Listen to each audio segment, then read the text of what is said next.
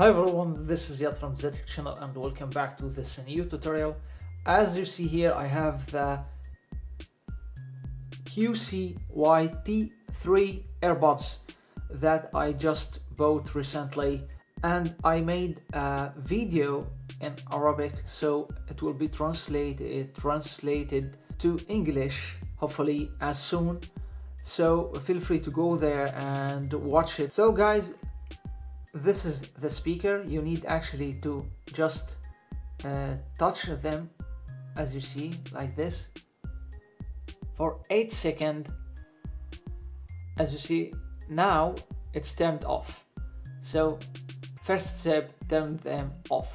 Then put your hands one more time 20 second or until they uh, pop up actually red and white color and then turn off. We are not ready yet. As you see as you see we are so close. Yeah now they are just set the, to the factory setting. So what they said actually you can put them here as you see.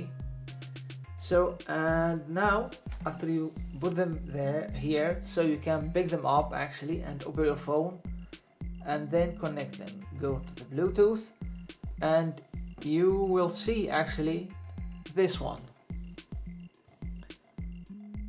And you will see QCYT3 right. So if you see left so it doesn't work. You need to repeat it again. So let's take them here and click on the QCY T3 you can just forget this. AirPods. And now you have them just as new. So now you can choose them and they they just will connect it directly. So this is the problem. I hope you will solve the problem if you have any other issue.